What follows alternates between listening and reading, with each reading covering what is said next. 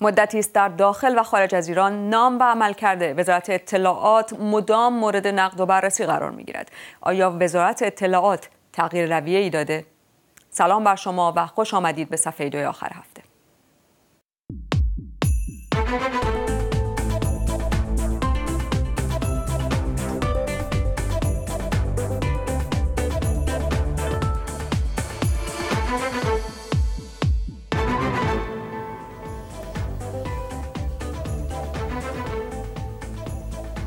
در پرونده بخشی و قلیان پرونده که در آن بازداشتی ها می‌گویند شکنجه شدند و بعد آن اعترافات تلویزیونیشان پخش شد و باز بازداشت شدند نهاد مربوطه وزارت اطلاعات ایران است. وزارت اطلاعات دولت حسن روحانی. شمار قابل توجهی از بازداشت ها در هفته های گذشته بازداشت دگراندیشان فعالان مدنی و اجتماعی هم تحت نظارت وزارت اطلاعات بوده. نه حفاظت اطلاعات سپاه یا قوه قضاییه که در سالهای گذشته در بسیاری از پرونده های این چنینی نقش داشتند. همین یکی دو هفته پیش اتحادیه اروپا یک معاون وزارت اطلاعات را تحریم کرد به اتهام تلاش برای عملیات برون مرزی در خاک اروپا. اقدام برای بمبگذاری و کشتن مخالفان جمهوری اسلامی. آیا وزارت اطلاعات در داخل و خارج از کشور تغییر رویه داده؟ اگر چنین است آیا دولت روحانی با این رویه هماهنگ هست یا آنطور که طرفداران دولت می‌گویند دولت در عمل کرد و حتی انتخاب وزیر اطلاعات نقشی اندک دارد. آیا وزارت اطلاعات در تلاش است که زمینی را که به اطلاعات موازی باخته پس بگیرد؟ معنی این تحولات برای فعالان سیاسی و مدنی در ایران و خارج از کشور چیست؟ در این برنامه چهار میهمان دعوت کرده ایم فرج سرکوهی نویسنده و منتقد ادبی از فرانکفورت آلمان. و اینجا در استودیو رضا علیجانی فعال ملی مذهبی شادی سعد فعال حقوق بشر و از مدیران سازمان عدالت برای ایران و همینطور همکارم حسین باستانی مهمان ما هستن. خوش آمد میگم هر چهار مهمان. اول می‌خوایم راجع به این صحبت بکنیم که چطور و با چه اطمینانی میشه گفت که این عملیات می‌دونیم که وزارت اطلاعات توسط اتحادیه اروپا تحریم شده معاونتی از وزارت اطلاعات. ولی چطور میشه با چه نشانه هایی فهمید که این کار وزارت اطلاعات بوده و نه بخش های دیگه اطلاعات موازی ببینید وقتی که اول خب این خبر پخش شد خب برای همه این سوال مطرح بود که خب این چیزهایی که دارن اروپایی ها میگن چقدر پای اساس داره یا نداره. ولی خب بعد واکنشایی که در داخل مشاهده شد ذهن رو به این سمت برد که خب انگار که وزارت اطلاعات به هر حال در اینجا متهم اصلی هست. خب همین صحبتی که اخیرا از سفیر سابق ایران در آلمان پخش شد مشخصا داره میگه که خب در مقابل این سوال قرار می‌گیره که آیا اینا بازی های اروپایی است برای اینکه از تعهداتشون در مورد برجام و اینها شونه خالی کنن؟ میگه نه اینطور نیست. یه سری چیزهایی ارائه می‌کنن مستنداتی که جدی است حالا البته یک روز بعدش وزارت خارجه واکنششون داده که ایشون نظر شخصیش رو گفته ما ربطی نداره اینجور بحثا. ولی به حال داره میگه اینا مستندات جدی دارن بهش اشاره می‌کنن. و اهمیت صحبت او این هستش که در زمانی که ماجرای آلمان رخ میده یعنی قوه قضایی آلمان کیفرخواستی رو صادر می‌کنه علیه یک عضو وزارت اطلاعات که دیپلمات هم بوده. در اون زمان ایشون سفیر بوده. الان دیگه البته نیست ولی خب اون زمان سفیر بوده. یعنی قاعدتا در جریان جزئیات داستان قرار گرفته. و خب قبلش هم که به هر حال اشاره هایی در روزنامه رسمی دولت بود روزنامه ایران یعنی در 11 آبان که خب سرمقاله ای رو منتشر کرد بدون نام که خب خیلی معنیدار تلقی شد دیگه. توی اون مقایسه کرده بود با قضیه قتلای زنجیره‌ای گفته بود که این حالا یک به گفته او یک هسته خودسری هستن دارن چه می‌کنن؟ باید تا ته قضیه رئیس جمهور پیگیری بکنه و در روزهای آینده هم قراره که رئیس جمهور در واقع کاری بکنه که خب هیچ اتفاقی هم نیفتاد. اینجور مقایسه ها که حالا در صحبت های سفیر آلمان هم این اتفاق افتاده با ماجرای قتلای زنجیره‌ای خب معنیدار هست دیگه. یعنی اون هم ماجرایی بود که روایت رسمی حکومت این بود که خب این اصلا کار نیروهای خارج از حکومت به ما ربطی نداره. بعد معلوم شد کار مأموران وزارت اطلاعات بوده. ام. یعنی تا این لحظه به نظر میاد فراتر از یک ادعایی که در اروپا مطرح شده. حداقل در داخل ایران کسانی به نظر میاد که متقاعد شدن یه چیز جدیه. ولی بحث دیگه بحث شیوهی هست که دولت حسن روحانی با این قضیه برخورد کرده. چند وقت پیش که ما در همین باره صحبت می‌کردیم یکی از مهمانان برنامه که یک دیپلمات سابق هم بود می‌گفت همین سکوت آقای ظریف میشه معنی دار باشه میشه مفهومش این باشه که آقای ظریف نخواست از این دیپلمات ها یا به قول او کسانی که در قالب دیپلمات ها ظاهر میشن و این کارها رو می‌کنن دفاع بکنه.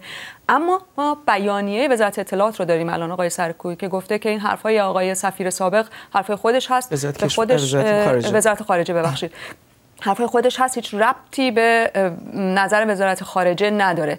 آیا به نظر شما هنوز با این اصاف میشه گفت که دولت حسن روحانی دست کم. دو بخش هست. بخشی دارن از این فعالیت ها دوری می‌کنن یا میگن که به ما ربطی نداره.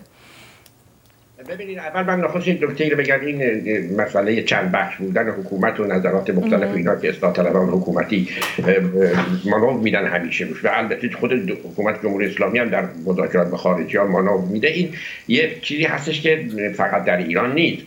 شما مثلا خب در آمریکا هم می‌بینید بالاخره نظرات مختلف وجود داره. در یک شورای سرزمینی یک نشریه نظریات مختلف می‌تونه وجود داشته باشه. یکی بگه مثلا این کار بکنی یکی بگه اون کار بکنی در بافت امنیتی جمهوری اسلامی ها نظرات مختلف هست اما همه این نظریات مختلف جمع میشه بالاخره. حالا هم دفتر حفاظت اطلاعات سپاه هم وزارت اطلاعات هم دیگر نهادهای اطلاعاتی که وجود دارن و بعد در میره به اون دبیرخانه شورای هماهنگی اطلاعات و بعد از اونجا هم بالاخره سیاست های اصلی رو شورای امنیت ملی تعیین می‌کنه و شورای امنیت ملی هم توش می‌تونه اختلاف نظر باشه. یکی این تاکتیک رو بگه یکی اون تاکتیک رو بگه و بعد البته بر اساس قانون اساسی و کاملا قانونی رهبر جمهوری اسلامی تعیین کننده سیاست خارجی و امنیتی کشور هست. وزارت خارجه همیشه بازوی اجرای سیاستی است که رهبر تعیین می‌کنه. البته رهبر هم به نظریات کارشناسی توجه می‌کنه و غیره حالا این یک نکته. نکته دوم اگر کسی آلمان رو بشناسه من تا حدودی آلمان رو می‌شناسم. اینجا پلیس نمی‌تونه بیاد یه حرف علکی بزنه. اینجا اینجا هم نهادهای گوناگون امنیتی وجود داره. اما مثلا همین چند مدت پیش رئیس یکی از مهمترین نهادهای امنیتی حفاظت از قانون اساسی در پلیس امنیت داخلی هست رو به خاطر یک مثلا جمله برکنار کردن. پا... اینجا پارلمان هست شو. پارلمان اینا رو احضار می‌کنه. اینا واقعا باید برن به پارلمان اطلاعات واقعی بدن. همینطوری حرف نمی‌زنن. اینم توجه بکنیم که آیا حالا اون بخش دوم سوال شما. یعنی اینا اگه مدارکی نداشتن حرف نمی‌زنن و در این حال می‌دونیم که اروپا تمام سعیش رو می‌کنه که با سیاست ترامپ مقابله بکنه. حالا البته خب خیلی موقع نمی‌تونه.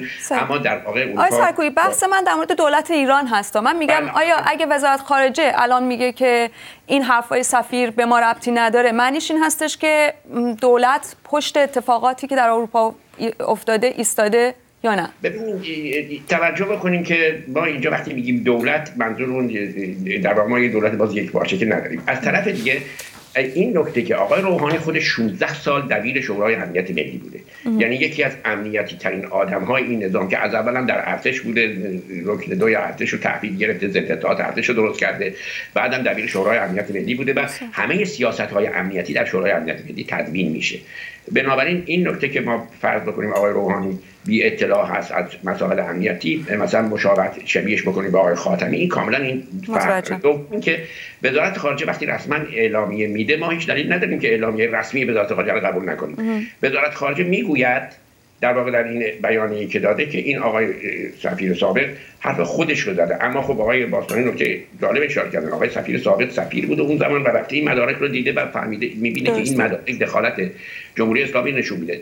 این نکته بسیار مهمی هستش که بعد از دادگاه میکنوس من سندی که خودم دیدم می‌خوام بگم شاید برای اولین بار بعد از دادگاه میکنوس اروپا در واقع قبل از دادگاه میکنوس تصمیم گرفته بود جلو ترور مخالفین رو در جمهوری اسلامی جلو ترورهای رو در اروپا بگیره.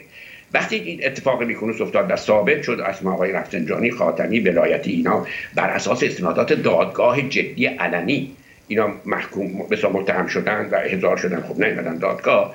بعدا اون سفرهایی که آمدن همه سفرهای اتحادیه اروپا اومدن اروپا. وقتی که اینا برگشتن یک شرایطی رو به دولت ایران تحمیل کردن.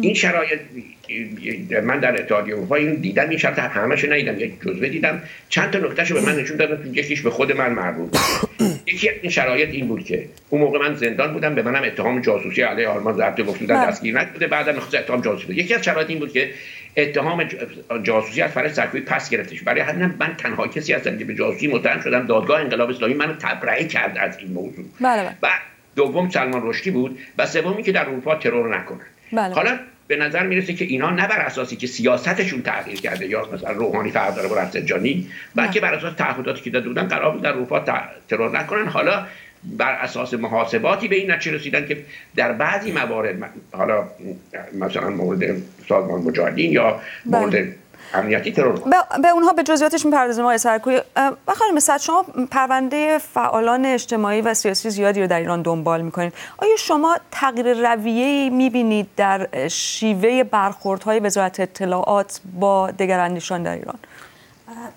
من قبل از که به, به طور خاص به سوال شما بپرزم یه نکته می‌خواستم راجع به بحث قبلی شاید بتونم اضافه بکنم و اون اینه که به نظرم دو تا بحث وجود داره اینجا. یه بحث حقوقیه و یک بحث سیاسیه. از نظر حقوقی ما نباید فراموش کنیم که هر کسی رئیس جمهور باشه از هر جناحی از حکومت ایران چه حسن روحانی باشه چه محمود احمدی نژاد از نظر حقوقی مسئول عملکرد تمامی وزارتخونه هایی که در زیر نظرش و در کابینش هستن و عمل می‌کنن. اگر تروری در خارج از کشور اتفاق میفته و وزارت خارجه و وزارت اطلاعات ایران درگیر هستن هم اون وزرا و هم خود رئیس دولت یعنی رئیس جمهور مسئول مسئول هستن از نظر حقوقی. اولین وظیفهشون اینه که به محض اینکه خبردار بشن حتی اگر از قبل نمی‌دونستن و ما باور کنیم که نمی‌دونستن پیگیری کنن پیگیری حقوقی بکنن تحقیقات به عمل بیارن و جلوی قضیه رو بگیرن. هیچ کدوم این اتفاقات نیفتاده. در هیچ یک از مواردی که ما امروز قرار راجبش صحبت کنیم چه قتل و ترورهای اخیر خارج از کشور چه بحث شکنجه و اعترافات اجباری از زندانیان.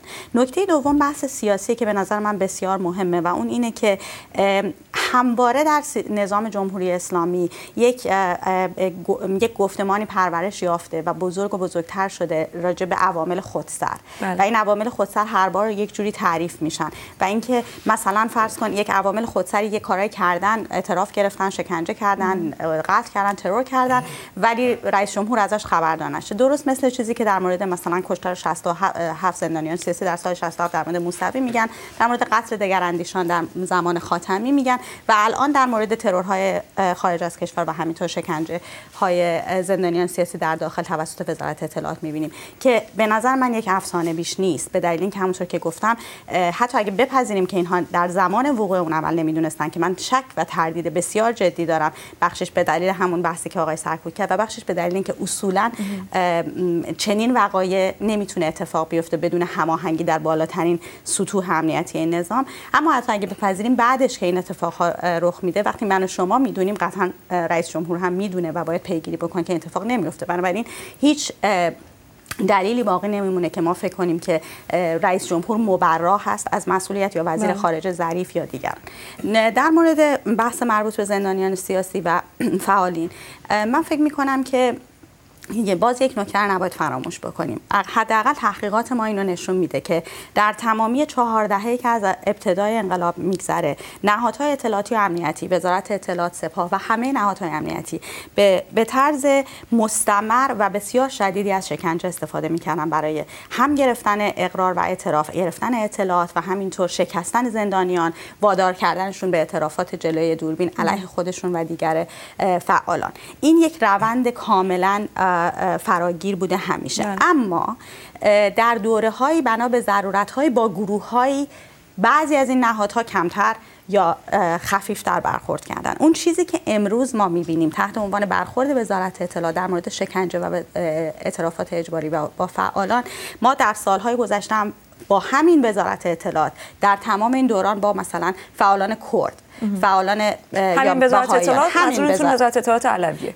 وزیر اطلاعات دولت, دولت روحانی, بله. و بعد قبلش هم وزیر وزارت اطلاعات دوره خاتمی. قبلش احمدی نژاد. یعنی هیچ فرقی نمی‌کرده. منتها در دوره های به این نتیجه رسیدن که ضرورتی وجود نداره. الان برای بخشی از فعالان مثلا بله. فرض کن فعالان اصلاح طلب یا روزنامه نگاران از شکنجه استفاده کنن در حالی که مثلا نهادهای مثل اطلاعات سپاه همچنان از این روش استفاده می‌کنن اون چیزی که به نظر من امروز ضروری کرده این نوع برخوردهای بسیار خشونتبار و وحشیانه رو با بله. فعالان برای دستگاه امنیتی کشور گسترده شدن اعتراضات و رادیکال شدن و در واقع حجم شدیدی از اعتراضات در همه حوزه هاست که این ضرورت رو برای اونها فراهم کرده که برای حفظ این نظام و برای اون تعریفی که اونها از امنیت ملی دارن حفظ امنیت ملی شدیدترین برخوردها رو بکنن. راجع به این هم صحبت خواهیم کرد خانم برای اینکه به نظر می‌رسه که به هر حال با توجه به بودجه که تعیین شده برای بودجه سال 98 بودجه نهادهای اطلاعاتی افزایش داشته وزارت اطلاعات حدود 30 درصد بودجهش افزایش داشته. آقای علی با صحبت های آقای خانم موافق هستید در زمینه هایی که مطرح شد؟ من با کلیت بحث دوستان موافقم. یه جایی فکر می‌کنم بایستی دقیق تر و تصویر رو روشن تر کرد. مثل تصویری که از راه دور از کره زمین گرفته بشه و فقط آب خشکی و دریاها رو نشون میده نزدیکتر میشین جنگل رو نشون میده نزدیکتر نشون میدین میشین کوچه و خیابون آدما رو ممکن نشون بده. نهادهای اطلاعاتی تو جمهوری اسلامی در ابتدا در بخش‌های مختلفی نهاد اطلاعاتی امنیتی بوده. 1162 وزارت اطلاعات تأسیس میشه بله. و قرار میشه همه کارهای امنیتی و اطلاعاتی متمرکز بشه در وزارت اطلاعات. یه مقاومت های اندکی وجود داره مثلا تو دادگاه انقلاب دادستانی لاجوردی و این تیپا تو سپاه محسن رضایی. ولی به هر حال وزارت اطلاعات میخ, میخ خودشون می‌زنه و متمرکز میشه. و سیاست مهار و سرکوب از طریق یه نهاد امنیتی متمرکز پیش میره. در دوره اصلاحات یک اتفاقی میفته و یه بخشی از مدیران اطلاعات تغییر نظر میدن. این تغییر نظر از قبلتر شروع شده. افرادی مثل حجاریان و امثالهم.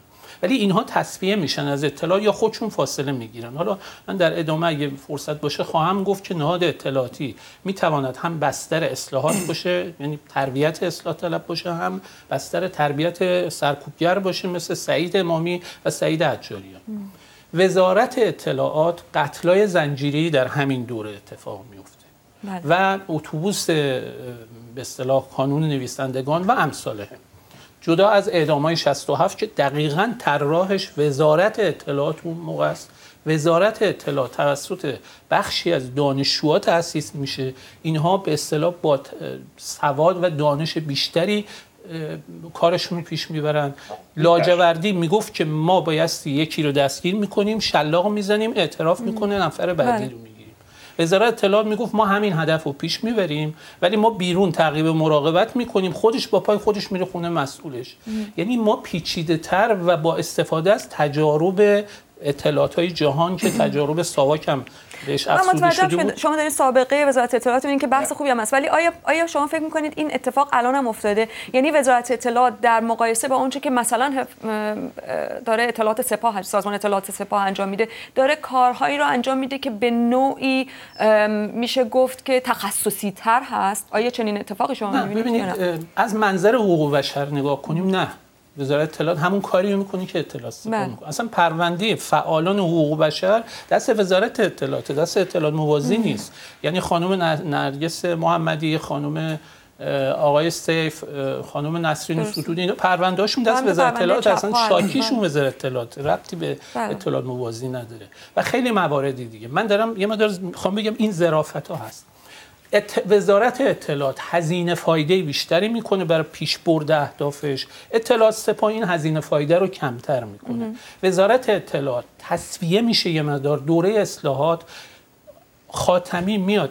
رسما اعلام می‌کنه که وزارت اطلاعات ما قتلای زنجیری رو بله، انجام میشه به ولی اطلاعات این تصفیه اجازه بدین این تصفیه کامل صورت نمی‌گیره. به قول بعضی از فعالین سیاسی اون موقع رده های پنجم ششم اینا بودن. اما تصفیه شده ها میرن میشن اطلاعات موازی. دوره احمدی نژاد دوباره اینو برمیگردن تو وزارت اطلاعات. حالا این ظرافتاش هست من در کلیتش تحلیلم با دوستان تفاوتی نداره.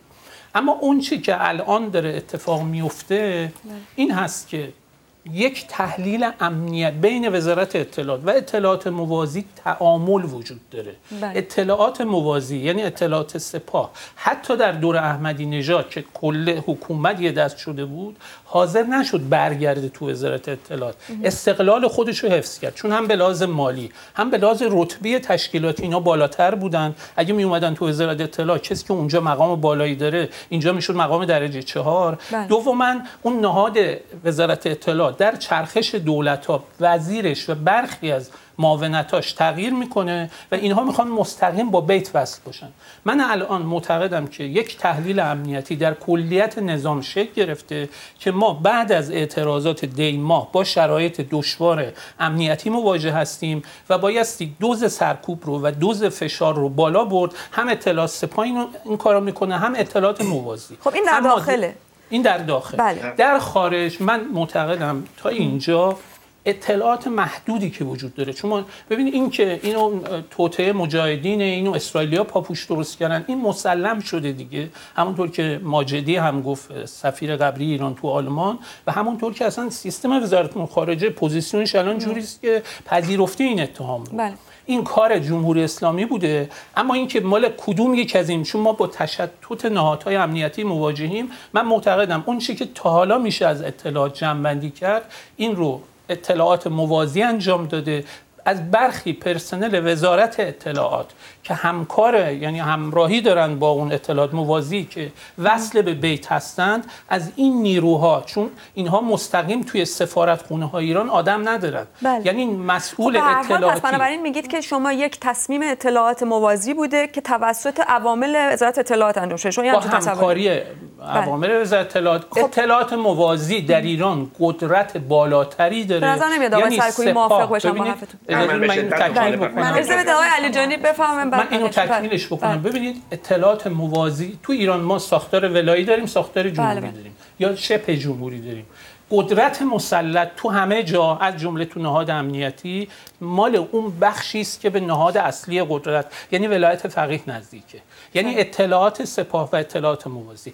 در این عملیات خارجی اون بخش من تا اطلاعاتی که تا الان هست. چرا استنادم به کجاست؟ رئیس جمهور فرانسه آقای مکرون مصاحبه می‌کنه با فرانسه 24 میگه که ما نمی‌دانیم کدوم یک از این بخشا این کار کردن بله. یک دو. ببین اینها الان چیزی رو که محکوم کردن و تحریم کردن گفتن بخشی از وزارت اطلاعات ایران یه مدیر کل یه مدیر کل و دو تا عضو. اسم آوردن سعید هاشمی مقدم معاون امنیتی ببینید در گذشته اینها چرا الان وزیر اطلاعات رو اینا تحریم نکرد؟ کردن. بله. قبلا ببینید وزیر اطلاعات رئیس جمهور همه رو اینا تحریم شما شما یعنی میفرمایید که معاونت امنیتی وزارت اطلاعات رو باید جدا کرد از بقیه وزارت در, در این عملیات مشخص که در خارج از کشور اتفاق افتاده. این برمیگرده به تعامل و تداخلی که نهادهای امنیتی با همدیگه الان در ایران متوجهم. اجازه بدین آقای سرکویی خیلی صحبت می‌خواستم کنم بفهمید آقای سرکویی یه چیزی هم من می‌خوام شما حتما برامون روشن بکنید. با توجه به اینکه می‌دونیم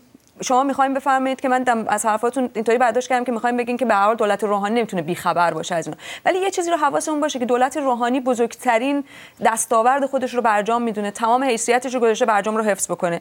بنابراین چرا باید همچین کاری بکنه؟ می‌دونه که این کار ممکنه برجام رو کلا ببره هوا.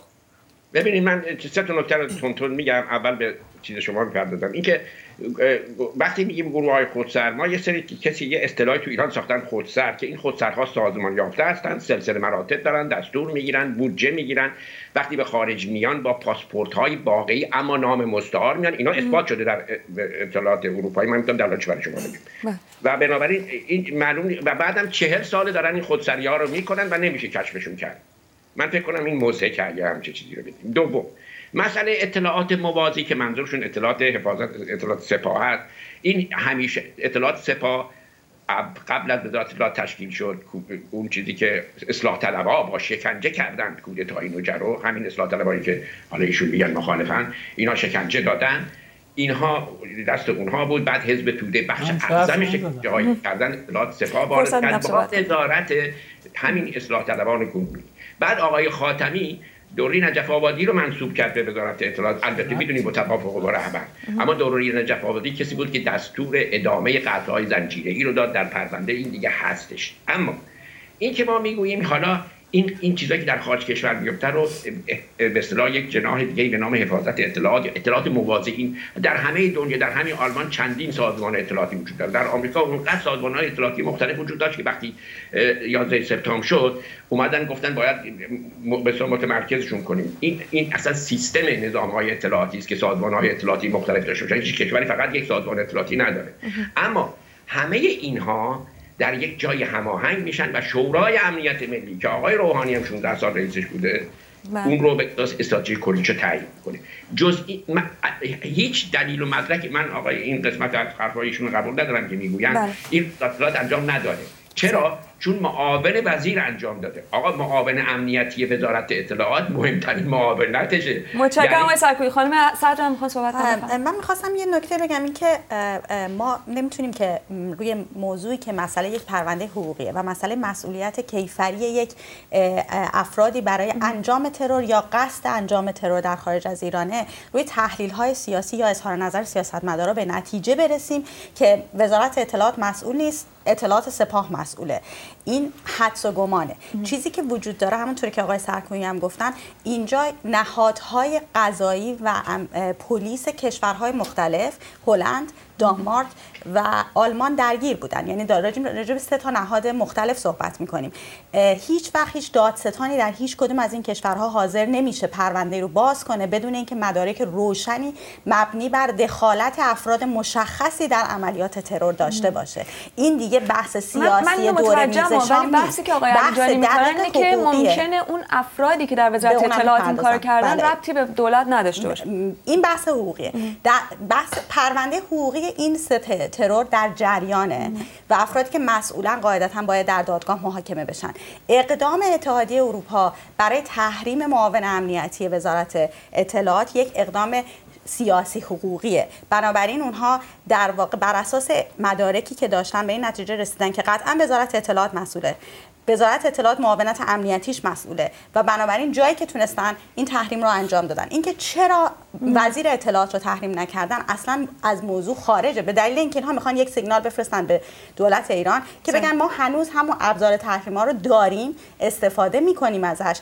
اما و ببینن که واکنش چه خواهد بود. نکته بعدی اینه که باز هم من می‌خوام اینو تاکید کنم. مسئله اصلی نیست که اطلاعات سپاه یا وزارت اطلاعات این کار کرده. مسئله اصلی اینه که ترور در خارج از ایران اتفاق افتاده و به نظر من اتفاقا اینکه وزارت اطلاعات هیچ کدوم از ترورهای خارج از کشور رو در اون جاهایی که مثل میکنوس یا بقیه اسنادش در اومده اطلاعات سپاه انجام نداده. همواره وزارت اطلاعات مسئول اطلاعات در واقع مثلا بازی سپاه قدس مثلا اتهاماتی علیهش مطرح هست که عملیات در دیگه انجام ولی در ولی نه در اروپا. اگر دولت روحانی یا وزیر اطلاعاتش بله. مخالف باشن با این عملیات قطعا راههایی دارن. حداقل اینی که می‌تونه معاون امنیتش رو عزل بکنه. آقای الجری بفرمایید. من می‌خوام بحث رو ببینم. ادعاهای دوستان اصلا هیچ ارتباطی با بحثی که من کردم نداره. من هیچ نگفتم اینا خودسرانه این کارو کردن. دقیقا اینا طراحی شده دقیقا بودجه دارن دقیقا محاسبه کردن ولی ولی میگین توسط دولت روحانی طراحی نشد. اصلا من بحثم دولت روحانی نیست که دوستان بحث رو ببرن که اصلاح طلبها قبلا شکنجهگر بودن. بله بازجوهای خودم همشون اصلاح طلبها بودن تو دهه 60 اصلا بحث ما این حواشی نیست. ببینید بحث دقیقا اینجاست که وزارت اطلاعات حسن روحانی الان خانم صدر میگن که اینجا دقیق موضع می‌گیرن. خب اینا دقیق آمدن گفتن که ما بخشی از وزارت اطلاعات رو تحریم می‌کنیم و اون بخشی میگن می‌خوان از طریق این سیگنال سیاسی بدن. این دیگه تفسیر حقوقی نیست. این تفسیر سیاسیه. ببینید اون چیزی رو که الان اروپایی ها میگن شما دارین حکمی که اونها کردن دارین تفسیر سیاسی. بدن که الان تو روزنامه آلمان در این مورد نوشته شده که روشن می‌کنه قضیه رو. آقای سرکوی من که اونا رو نفت نمی کنم الان گوییم.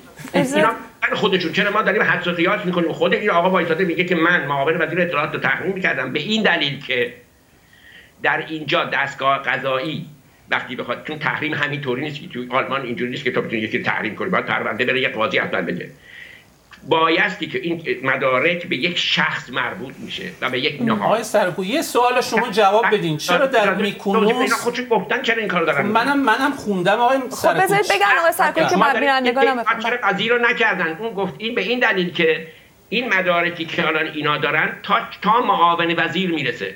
اگه به وزیر برسه وزیرم می‌کنن. تمام شد این حکم دادگاه. این اصلا این نیست که شما بگین وزیر پس خب بذارید آقای الجان جواب. ببینید منم گفتم تا اطلاعاتی که تا اینجا هست از اینجا به بعدش حدس و گمان خب و از اینجا به بعدش بحث سیاسی. چون اونا وزیر رو تحریم نکردن پس اطلاعات سپاه مسئول آقای باستانی بین استدلال شما وجود نداره. این برمیگرده آقای باستانی. یه مقدار به این که آیا فرقی اصلا هست بین اینکه این وزیر اطلاعات که هست اون وزارت اطلاعات چگونه اداره می‌شد؟ آیا شما مثلا بین وزارت اطلاعات آقای علوی و آقای مثلا مصلحی فرقی می‌بینید؟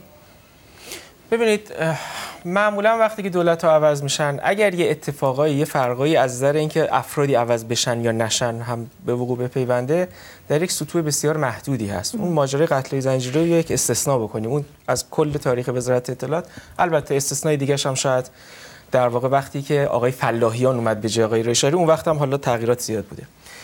ولی در سطوح گسترده از وزارت اطلاعات اساسا هیچ تغییری ایجاد نمیشه. مثلا در شهرهای کوچیک در مناطق مرزی مخصوصا در ارتباط با اقلیت ها اساسا وزارت های اطلاعات میان و میرن هیچ فرقی اتفاق نمیفته در ارتباط با کسانی که حالا سر کارشون با دستگاه امنیتی بیفته.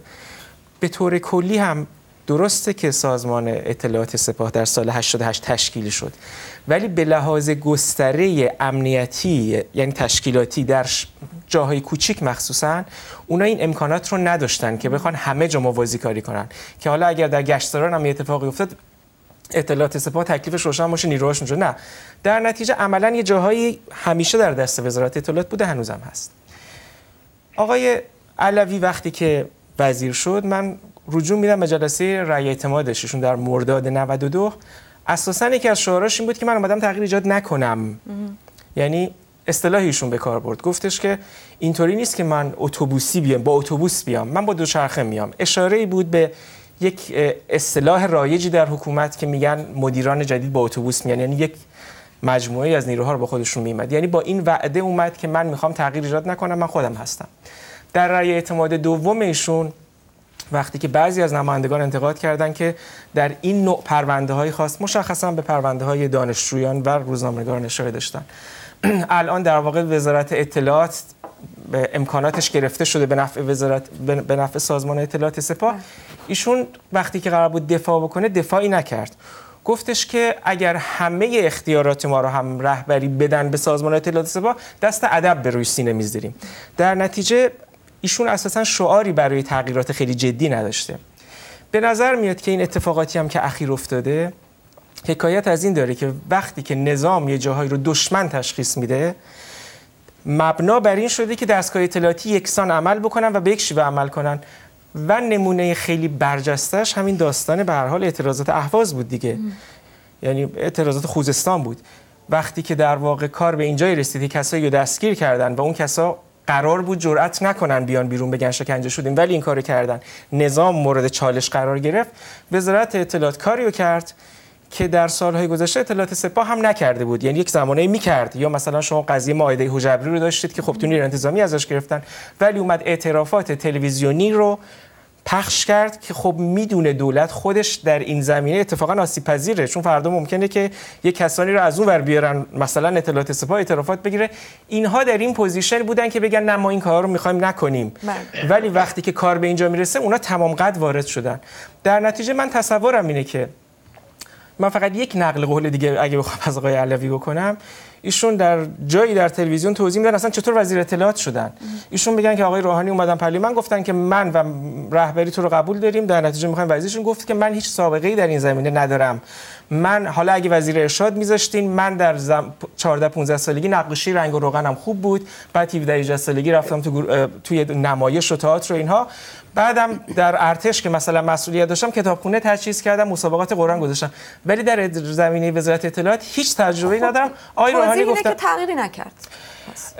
نهایتا تغییری در وزارت اطلاعات صورت نگرفته. یک پرونده های خاصی البته تو ذهن ما مونده که داریم بهش رجوع میدیم. می‌فهمم.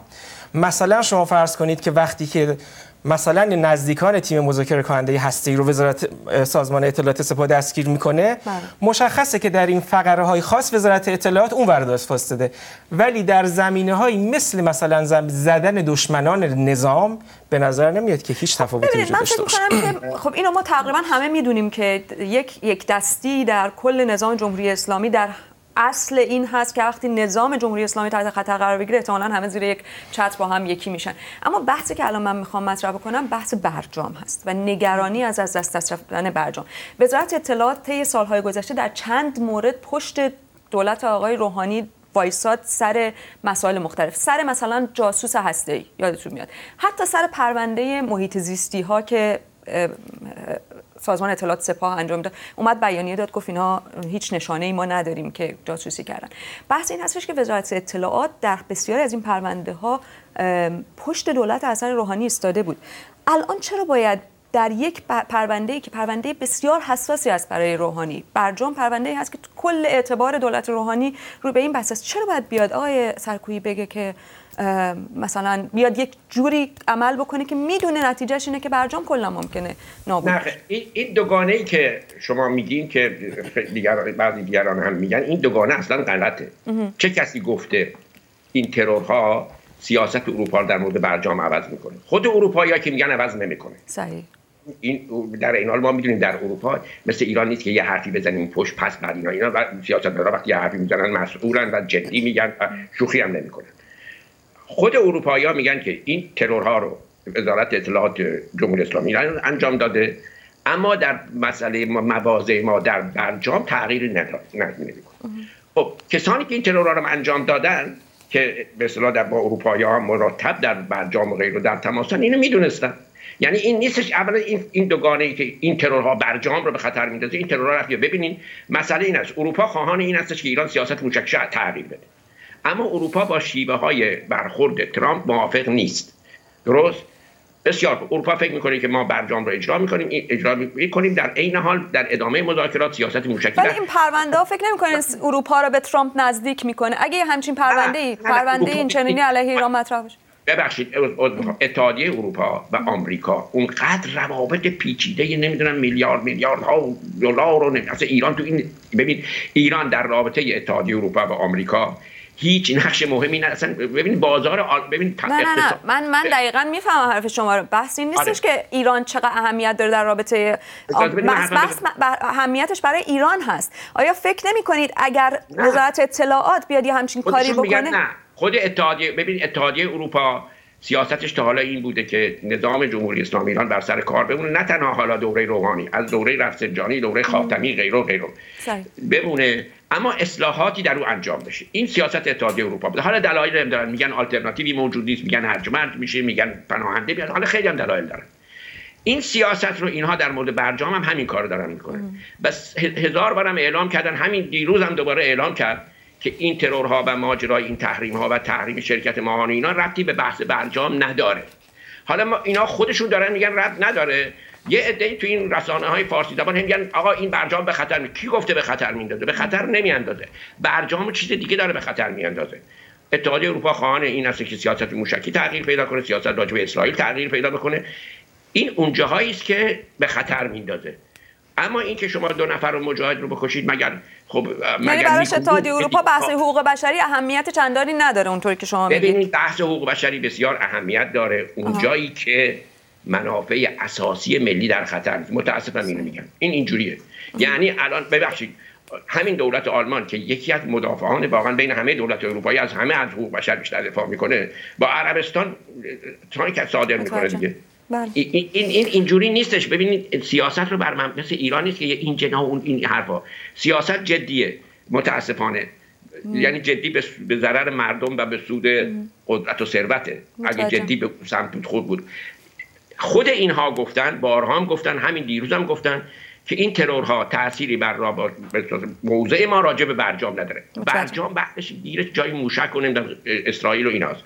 حالا اونم که این ترورها رو انجام میده یعنی آقای روحانی که ببینین این خیلی عجیبه که یه نفر که 16 سال رئیس شورای امنیت ملی بوده یعنی قتلای زنجیره غیره و بعدم اصلا ببینید این وزارت آقای سرکوی من می‌خوام اتفاقا بحث بعدی رو ببرم رو نقش خود آقای روحانی. آقای جان شما هم وقت دارید پاسخ بدید صحبت آقای سرکوی که می‌دونم مخالف هستید مثل اینکه. بحث من این هستش که آقای روحانی آدم غریبه ای با اطلاعات وزارت اطلاعات نیست. آدمی هست که اصلا در تشکیل وزارت اطلاعات نقش داشته. شورای عالی امنیت ملی رو تشکیل داده 16 سال دبیرش بوده. در بسیار از بحث‌های امنیتی آدم اول کشور بوده برای سالیان. آیا میشه اصلا باور کرد که او بی, بی اطلاع باشه از این تحولات و اتفاقاتی که میفته در وزارت اطلاعات بله می‌تونه بی اطلاع باشه. ولی بذارید من ممکنه بی اطلاع میگم. ولی یه نکته مهمتر اینه که حالا ما چه بحث بکنیم این کار وزارت اطلاعات بوده یا اطلاعات موازی بوده و حالا به نظر من ساده سازی کنیم یعنی نپذیریم لجبازی کنیم که به حال یک تیف بندی در داخل قدرت هست که یکیش میگه مثلا فعالان محیط زیست برانداز نیستن جاسوس نیستن اون یکی میگه هستن. ما رومون اونوری کنیم بگیم نه اینا همه سرتا یک این یه خورده لجبازی با واقعیت. رو پرونده ملی مذهبی. ما زندان بودیم وزارت اطلاعات می‌گفت اینا برانداز نیستن. اطلاعات سپاه می‌گفت براندازن. از این مثالا میشه زد. ولی اینا حتی تو ذهن من اینا پاورقیه. اصل مسئله متن موضوع اینه که چه اطلاعات سپاه چه وزارت اطلاعات. بدون که من می‌خوام ساده سازی کنم لجبازی کنم با واقعیت و اتحادیه اروپا رو هم ساده سازی بکنم اینا جفتشون یک سیاست کلی مشترک. برای سرکوب و ماها رو دارن پیش می‌برن. درست؟ این انکار نمی‌کنه اون اختلافشون رو. ولی مسئله مهمتر به گمان من برای منی که اینجا نشستم برای اپوزیسیونی که در داخل هست اینه که چه وزارت اطلاعات این ترور کرده باشه چه اطلاعات سپاه کرده باشه چه در تعامل با هم کرده باشن جمهوری اسلامی قدم هایی رو که عقب نشینی کرده بود. و وعده داده بود که دیگه از این کارا نکنه دوباره برمیگرده. این, این قدم می‌تونه بعد یک گام که حالا میگه من دارم تجزیه طلب رو می‌زنم من دارم کلاهی رو می‌زنم من دارم مجاهدین رو می‌زنم ممکنه به بنده و آقای سرکوهی هم منجر بشه. این خطر اصلیه. ما رو این باید بیستیم اما این سوال دقیق شما بله ما در داخل وزارت اطلاعات ببینید وزارت اطلاعات مثل کلیت جمهوری اسلامی دوره احمدی نژاد احمدی نژاد اومد نیروهاشو کاشت در دوره موس... سال 80 معذرت می‌خوام سال 88 بیشتر وزارت اطلاعات و بیشتر سپاه پاسداران به میرحسین موسوی رأی داده بودن و اینا تصویه شدن احمدی نژاد نیروهای خودشو کاشت اونقدر که خاتمی تونست یه تراش کوچیکی تو وزارت اطلاعات بده. و این یه قدمی مثبتی بود که ناقص مون یعنی خاتمی به علت ضعفش اون پرونده رو تا آخر جلو نبرد.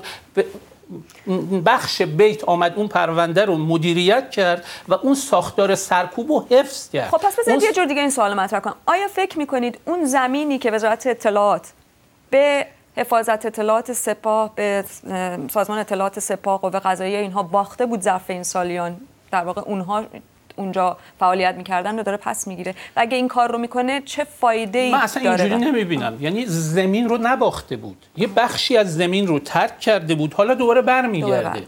و ببینید آقای گنجی موقع اومد گفت تاریخخانه اشباه. من مقاله نوشتم گفتم این تاریخخانه اشباه مال دوره آقای خامنه‌ای نیست مال دوره آقای خمینیه.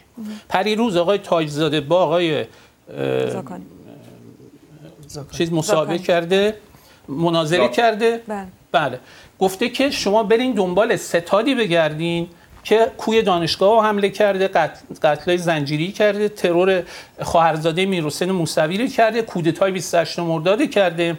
من معتقدم هم تاریخخانی اشباه وجود داشت و حفظ شد. آقای خاتمی رده های چهارم پنجمش و وزارت اطلاعات کند. از اون قده سرطانی باقی موند. و هم اون ستادی که آقای تاجزاده میگه و این یک ستادی است که آقای سرکویم درست می‌گفت که اینا از یه جای هدایت میشن بودجه می‌خوان اینا به نظر من مستقیم وصل به بیت هستن. بله. در درون وزارت اطلاعات هم اینا نیروهای زیادی دارن و از این نیروها بهره گرفتن. ممکنه روحانی من حدس قوی ترم اینه که روحانی و ظریف مطلع نبودند. و هیچ عقل سالمی هم اجازه نمیده. شما وقتی که رفتین مذاکره می‌کنین یا دوره هاشمی هاشمی رفته داره با اتحادیه اروپا روابطش رو روابطش رو اصلاح بکنه. یه دفعه یه بخشی از نظام میره اونجا به اصطلاح حالا بحث بحث برجام و بحث اینکه حالا چه منفعتی برای دولت روحانی داشته یا چقدر می‌خواسته تلاش کنه حفظ بکنه چیه؟ بحثه. بحث برخورد با فعالان مدنی و اجتماعی که این روزها خیلی زیاد شده یه بحث دیگری است که به موازات اون داره پیش میره. و من خواهم سعد می‌خوام از شما بپرسم که آیا میشه پیش بینی کرد که در سال 98 چه اتفاقی میفته با توجه به افزایش بودجه اطلاعاتی با توجه به به نظر بسیج نیروهای اطلاعاتی برای برخورد با بعضی از دگراندیشان. آیا فکر می‌کنید که چنین تصویری رو شاید هستیم برای سال آینده؟ من, من فکر می‌کنم که دو تا وضعیت واقعی به طور موازی در یکی دو سال اخیر از پیش رفته که خیلی خیلی تاثیر گذاشته در عملکرد فعلی وزارت اطلاعات چه در خارج از کشور و چه در سرکوب مخالفان و فعالان در داخل از کشور. یکی همونطور که گفتم رادیکال شدن و گستر، گسترش اعتراضات مردمی و همینطور تجمعات خیابانیه. و سازماندهی مردم حول محور براندازی یا سرنگونی جمهوری اسلامی. نکته بعدی دولت روحانی از ابتدای شروع به کارش حتی همون موقع که مذاکرات مربوط به برجام جریان داشت وقتی برجام امضا شد و بعد همین الان ما یه روند رو به رشدی در بی‌اعتنایی مطلقش به واکنش ها و فشارهای بین المللی در مورد مسائل حقوق بشر و برخورد با فعالان مدنی یا سیاسی می‌بینیم. یعنی از ابتدا این دولت با هیچ کدوم از بیانی هایی که قبلا صادر می‌شد با هیچ کدوم از فشارهایی که قبلا می اومد و گاهی مؤثر بود در آزاد کردن برخی از زندانیان یا هر چیزی هیچ نوع واکنشی نشون نداده. و من فکر می کنم که به این دلیل که اتفاقا الان ارزیابیشون اینه که برجام آیا فکر می‌کنید که این یک تصمیم دولتی هست یا فراتر از اون؟ حکومت جمهوری اسلامی به این نتیجه رسیده که اروپا کار زیادی نمی‌تونه در قبال ما انجام بده. بنابراین هر کار دلمون می‌خواد می‌کنیم.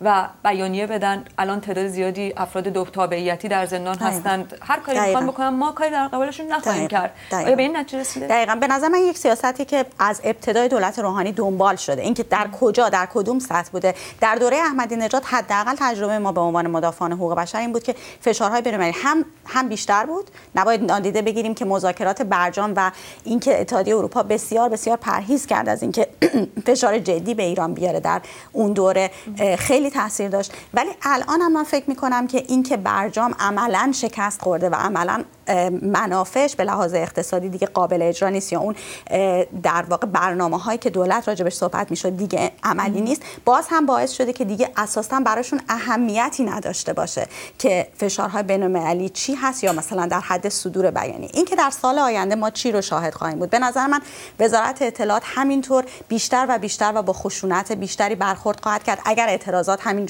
گونه ادامه داشته باشه. و اگر در فضای بین ما مواجه نباشیم با فشارها و اقدامات جدیتری از صدور یک بیانیه یا تحریم یک مقام ناقض حقوق بشر. یعنی مثلا فرض کن الان بحث تحریم یا مجازات های بین صدا و سیما که مطرحه به نظر من اگه این به نتیجه برسه می‌تونه یه فشار موثر باشه. به خاطر اینکه دفاتر به صدا و سیما در تمام کشورها می‌تونه مشمول تعطیلی قرار بگیره. تمامی کانال های به زبان های مختلف صدا و سیما می‌تونه قطع بشه.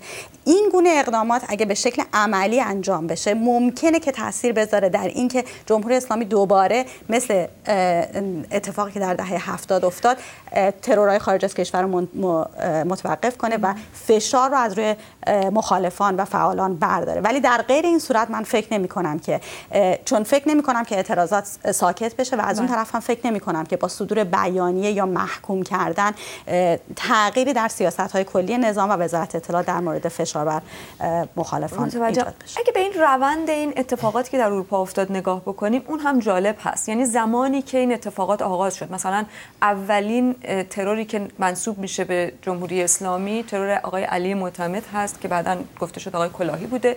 در آذر سالی که در تیر ماهش توافق هسته انجام شد. آیا شما بین اینها ارتباطی می‌بینید آقای باستانی؟ ببینید من تصورم اینه که به هر حال وقتی که این اتفاقات شروع شد حداقل شروعش با یک جایی بود که انگار در کل نظام نمیشه تردیدی داشت که کسی نمی‌تونسته مخالف مثلا زدن محمد رضا کلاهی باشه در داخل نظام. در جناهای مختلف دستگاه مختلف یک کسی انتخاب شده که اون کس حد اکثر اجماع رو ایجاد بکنه برای اینکه در واقع عملیات انجام بشه.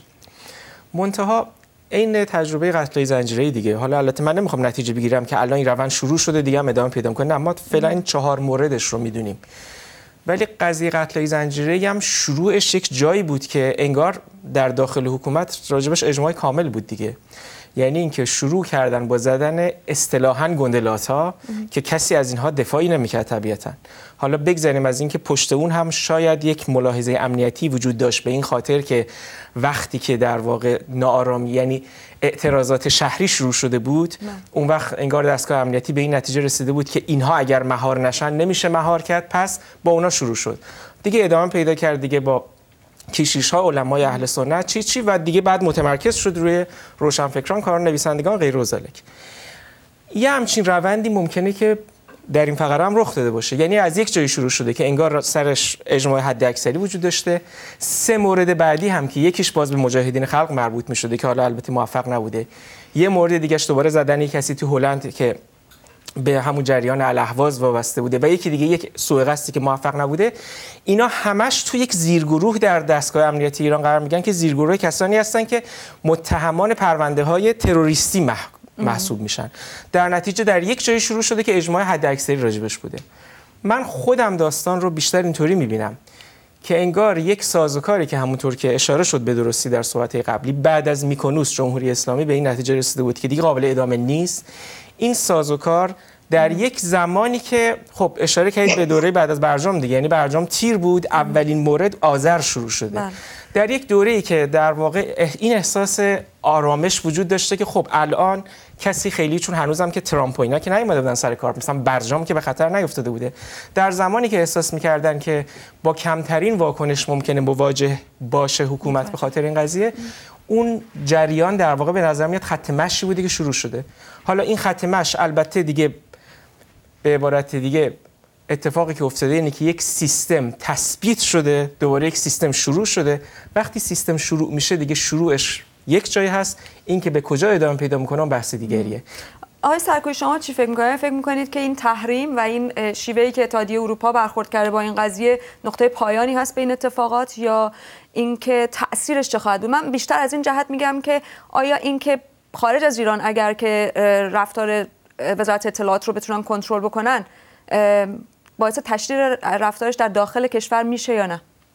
ببینید اول من اینو که بگم جمهوری اسلامی این نتیجه نرسید که بهتر ترور نکنیم؟ من عرض کردم اتحادیه اروپا مجبور کرد بود در سه مورد فتوای قلب رشدی رو پس بگیرین. در خیلی موارد سه تاشو من می‌دونم. اتهام جاسوسی رو از فرض سرکوبی بردارین و بعد هم دیگه ترور انجام ندید این مجبور شدن نه اینکه جمهوری اسلامی چرا به این نتیجه نرسید؟ دوم. مس... دوم این یعنی که بنده ارز که اجبار ممکنه باشه ولی باعث شد که ببخشید من فقط این نکته رو بگم. بهتر ترور کنیم نه به لحاظ ارزشی و اخلاقی به لحاظ اینکه دیگه نمیشه ادامه داد به این جهت. نه آره وگرنه اتحادیه اروپا بر نمیگردوند اصلا جدی بود. حالا اینجا در این مورد من این بگم. ببینید مسئله این هستش که این نکته بسیار اساسی هستش که زمان شاه هم ساواک با همه رو شکنجه نمی‌کرد. مثلا افسرهایی که اعتراض کرده بودن به جدایی بحرین خیلی باشون خوب برخورد می‌کرد. ما رو شکنجه می‌کرد. چون ما رو دشمن تلقی می‌کرد این نکته که دوستان گفت بسیار مهم هستش. وزارت اطلاعات هم در طول سالها بعضی رو شکنجه نکرده بعضی کمتر شکنجه کرده. نمی‌دونم این بس تناسب داره اینکه چه ارزیابی از اون نیرو داره. دشمن تلقی می‌کنه. چه درجه از دشمن تلقی می‌کنه و غیره وگرنه اونایی که دشمن تلقی می‌کرده که عبارت از اینا رو همیشه به خشنترین شیبه ها سرکوب کرده. نمی‌خواد مثالم بزنیم. میماند این که الان در ایران یک تحول بزرگ رخ داده. لایه های بزرگی از مردم دیگه به دنبال اصلاح طلبان و بنیادگرایان و جناهای مختلف حکومت نمیرن. صدای مستقل خودشون رو بلند کردن. این خطر بزرگ است. طبیعتا وقتی خطر بزرگ آدم مواجه میشه یعنی وزارت اطلاعات منظورمه. یعنی اونها چیکار می‌کنن؟ مقابله خشنتری می‌کنن چون مقابله نرم که نمی‌تونن بکنن. این یک نکته. نکته دوم این که همه این حرفایی که ما راجع به وزارت اطلاعات اطلاعات موازی سپاه پاسدار کیجی می‌زنیم یک نکته رو نباید فراموش بکنیم.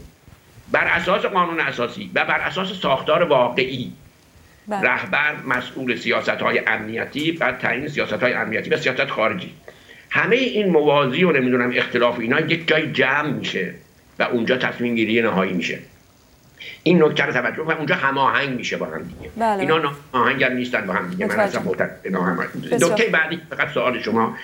چه ادامه پیدا خواهد کرد در خارج از کشور این سیاست وزارت اطلاعات؟ این بستگی داره به هم پیش من پیش بینی نمی‌تونم بکنم. بستگی داره به اینکه آیا مثلا اینا با اتحادیه اروپا می‌خوان امتیازی بدن می‌خوان امتیازی بگیرن اتحادیه اروپا در معاملات پشت برای اینا چیکار می‌کنه؟ بله. در داخل اما یک نکته مشخص هست. هر وقت اعتراض باشه سرکوب خشن میشه. بله. ممنونم آقای سرکوب. بذارید آقای علیجانی آقای علیجانی حدود یک دقیقه خیلی کوتاه بفرمایید. منم معتقدم که مسئله اصلی الان ایران اقتصاد تحلیل امنیتیه چه وزارت اطلاعات چه اطلاعات سپاه که آقای سرکویی به درستی گفتن در مجموع آقای خامنه‌ای مسئول درجه که بعد می‌رسیم به دولت و نهادهای دیگه. اینها آقای خامنه‌ای اومد گفت که می‌خواد فتنه 98 اتفاق بیفته. این حراسی است که از اعتراضات ناراضیان اقتصادی ناشی میشه. و وقتی این نارضایتی ها صورت بگیره فشار و سرکوب از تهران تا کوچکترین شهرهای ایران تشدید خواهد شد. احکام قضایی تشدید خواهد شد. احکامی که تا حالا اجرا نشده تعلیقی بوده ممکنه اجرا بشه. در رابطه با برخی شیوه ها چه در داخل چه در خارج ممکنه بین بخش های مختلف امنیتی رو هزینه فایدهش برای نظام اختلاف تحلیل وجود داشته باشه. اونجا هم دست بالا رو نهادهای نزدیک با آقای خامنه‌ای خواهند داشت. ممنونم آقای علیجانی خانم سعد آقای باستانی و آقای سرکوهی. متشکرم که در این بحث شرکت کردیم و ممنونم از شما. برنامه بعدی روز سهشنبه. شب روزتون خوش.